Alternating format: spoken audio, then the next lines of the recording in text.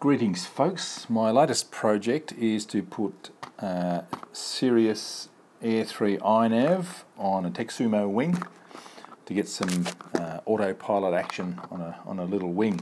Now this version of the uh, Air 3 board is a stripped down version, it's, had, it's been depinned or it hasn't had the pins put on it, it's uh, not in the case.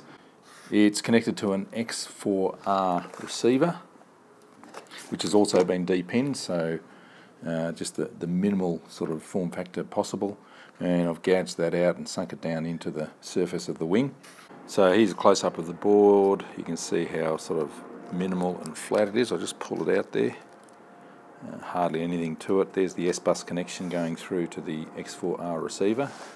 I've directly soldered on the servo connections which go through to the bottom uh, and this taught me that I need to get myself a finer tipped soldering iron to be able to do that nicely.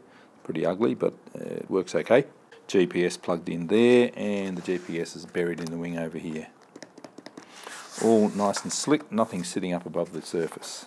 Now I need to fix that in a little bit more securely and nice and level. All of these components are available from multiwiicopter.com and I'm also using the awesome uh, Carbon Bird KST 12 gram servos, fast coreless digital servos for the Elevons. I'll just show you how I set it up in iNav briefly. Alright, it's connected. That's good. Uh, connect.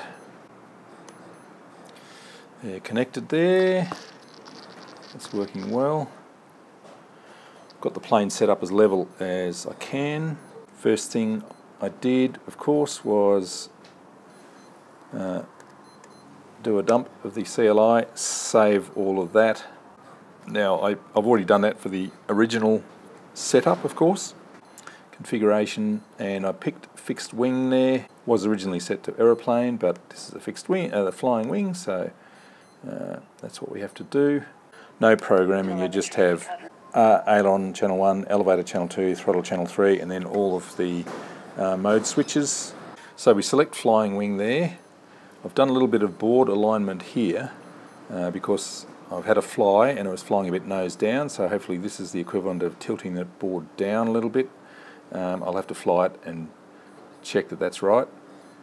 Fail safe, return to home, advanced tuning, return to home altitude mode is fixed at 50 metres radius is 30 meters.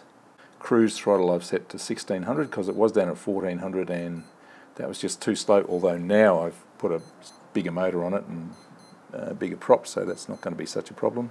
Modes I have uh, arm on one switch, angle and horizon mode on another switch. I've got air mode activated the whole time. I've, I've now got a heading hold on a switch and a Alt hold on the same switch so I can just flick that switch and it'll fly level and straight. Ooh, it's windy. Uh, on the same switch I've got return to home. On another switch I have a pass-through mode and the launch mode. Save that. That's about it for the moment. Ready to fly it. Disconnect. Alright, so here's the souped up TekSumo. Uh, I've scooped out the entry to the prop for a little bit clearer airflow. Bigger motor, bigger prop, should have way more grunt. I'm going to try the altitude and heading hold, manual mode.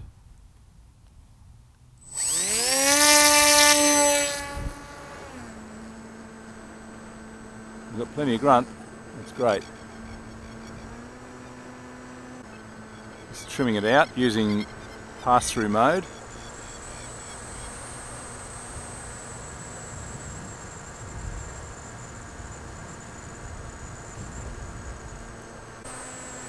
Horizon mode. Still going nose down. A bit less, just needs a bit more tilting of the board maybe. I've got my laptop so I'll do that. Let's make a few adjustments. So I need to tilt the board more, drop the cruise throttle, I'll probably use a smaller prop too I think.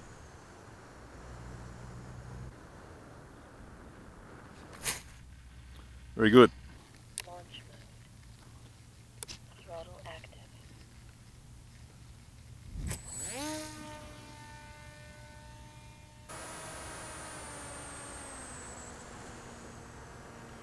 Horizon mode. Going up a bit now.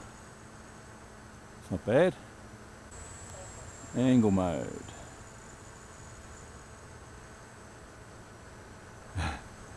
Hardly wants to do anything.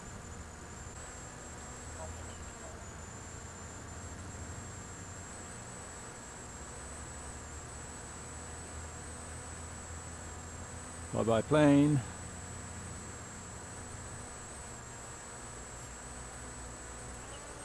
Turn to launch.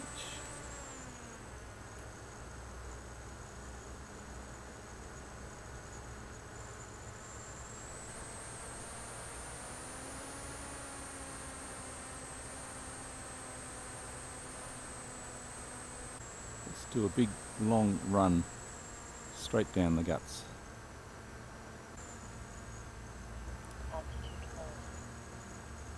That's altitude and heading hold. That'll just fly straight and level for as long as the battery lasts. And I'll bring it home.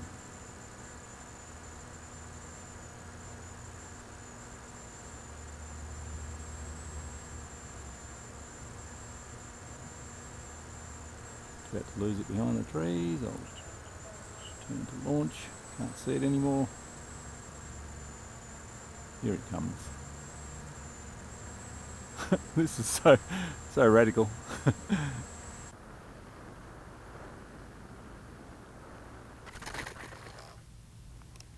so it's all working very nicely now. I really like the uh, altitude and heading hold setting. Uh, it will just flick that switch and it will just keep on flying at the same altitude and the same heading for as long as you want. You can fly it beyond line of sight if, you, if you're brave click return to home and it comes back to you. I may have too big a prop on at the moment. I think it's a 9 by 6 maybe need a 9 by 4 or something like that. I think its motor's getting a bit hot, sucking a bit too much current, flying beautifully.